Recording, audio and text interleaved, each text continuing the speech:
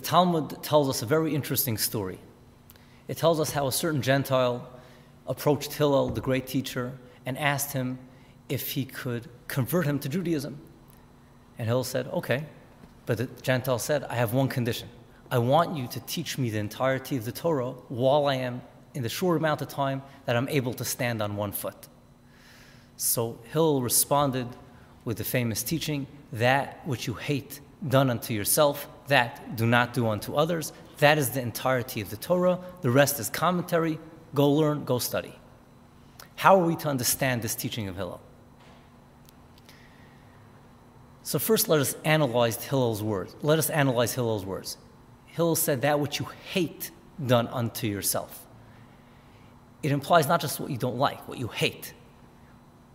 Example, if I lose a quarter, I'm upset, I'm sad, I feel, why did I have to lose that quarter? But if someone steals that quarter from me, someone cheats me out of a quarter, even though it's only a quarter, I hate it. It's something that bothers me. What that tells me is that I have a sensitivity to what's just and unjust in, inside my heart. It's there. It's not something that I need to learn, it's present. And the fact is, every person, every human being, Jew, Gentile, has this sensitivity to justice and to injustice planted in their hearts. When in the book of Genesis we read how God breathed a breath into man, and that's how man became a living being, what the Bible is teaching us is that God imparted from his goodness into man. And even though many of us are very evil, and there are evil people out there, but even evil people are sensitive to justice, to honesty, to truth, to morality when they are on the receiving end of an injustice. If someone cheats them, if someone is unjust, if someone lies to them, they hate it. That shows that there's something inside of us which is sensitive to truth. And this is true for everybody. This is true for Jew, this is true for Gentile. Now, even the most righteous amongst us are least sensitive to truth, honesty, justice, and morality when we are dealing with other people. A righteous person is disqualified from presiding as a judge in a case where he has a vested interest. If he has a vested interest in the case, we are worried that his vested interest will distort his perception of reality, will distort his sense of right and wrong, and therefore he has to recuse himself and move himself out of the case. In short, every human being has within him the sensitivity to truth, justice, honesty, and morality, and it's at its peak, it's at its strongest when he's on the receiving end of an injustice it's the most difficult for us to apply that sensitivity when we are dealing with other people.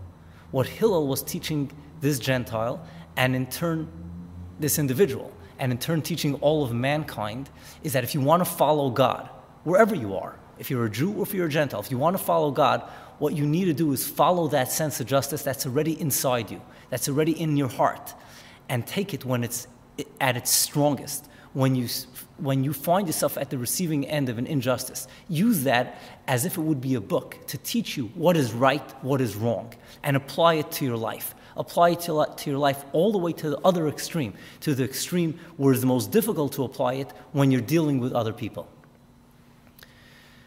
What Hillel is actually saying over here is that this sensitivity to truth is part of the human soul. It's part of our makeup. It's something that's inside of us.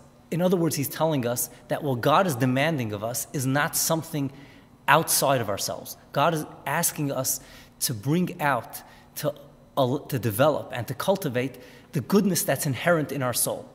And I use a parable to illustrate this idea. Imagine if you were in a subway station late at night, no one is there, and you're the only one there. You're the only one there, and there's a beautiful painting on the wall. Someone must have donated it to decorate, to beautify the subway station. There's a can of black paint on the floor right in front of the painting without its lid. And you have this childish urge to take that can of black paint and splatter it across the beautiful painting. You won't do it. It's not because you're going to be caught, because you won't be caught. The security cameras are off. You're not going to get into any trouble. No one's going to catch you. No one will ever fi- find out that you were the one that destroyed the painting, but you won't do it. You won't bring yourself to do it. And if you ask yourself, why not? You, you will find yourself answering one of three answers. Your answer will fit into one of three categories. Either because you feel for the people that are enjoying the painting, you realize the benefit, the joy, the pleasure, the just the fact that they have the, the beauty of, of, of, of, a nice subway station, what it means to them, and you don't want to take that away from them because you feel for them. That's kindness. That's, that tells me, that tells you that you have a sensitivity to kindness inside of yourself. You like kindness and you don't like cruelty. You might not destroy the painting. You might find it difficult to destroy the painting because it's unjust, because it doesn't belong to you. You have no right to do it, it doesn't belong to you. That tells us, that tells me, that tells you that you have a sensitivity to justice and to injustice that's part of your makeup, that's part of your psyche. And then it could be that the reason you're not destroying the painting is simply because it's beautiful, it's nice, it's something that's just so beautiful. How could you destroy something beautiful? And that tells us that you have a sensitivity to truth. Truth is beauty, beauty is truth.